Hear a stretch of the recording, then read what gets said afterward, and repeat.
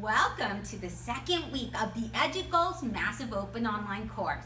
My name is Shelly Sanchez Terrell, and I will help you follow and complete this MOOC successfully. In this unit, you will transform a task, homework, or assignment into a learning mission or challenge. As teachers, we must find ways to create meaningful learning experiences for our students and help them feel the importance of their learning. We can make our activities and tasks more meaningful to our students by challenging them to complete a mission instead of just doing homework or completing a simple task.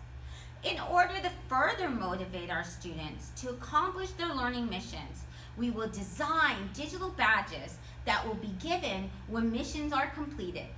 The military, clubs, organizations, and sporting events often give their members pins, patches, badges, or other insignias to recognize achievements, good deeds, outstanding work, skill, or leadership.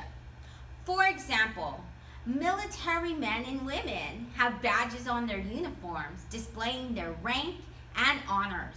When other military members see the insignias on the uniforms, they know how to address and salute the soldier. The members also know what the soldier has accomplished to earn the insignia. Therefore, the insignia inspires other members to celebrate the soldier's accomplishments and inspires other members to strive to achieve the same accomplishments. Digital badges work like this with our learners. We design the badge with a web tool online and let students know what they must do to earn the badge. Students provide us with evidence they have accomplished the missions and we give them the badge digitally. Our learners are motivated to be better digital citizens and create outstanding presentations and projects when given missions and badges.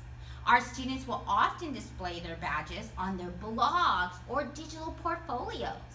They will share them on social media and later in life can use their digital badges to show future employers they have important skills such as leadership and working well in a team. Grades do not highlight these kind of skills that employers often look for.